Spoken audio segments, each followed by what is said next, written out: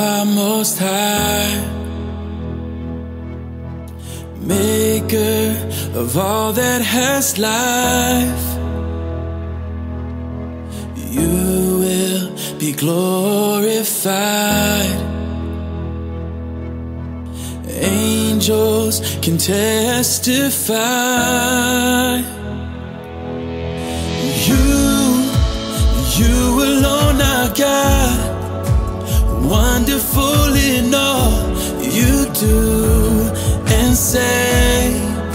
You're greatly to be praised, adored for who you are, and you will never change.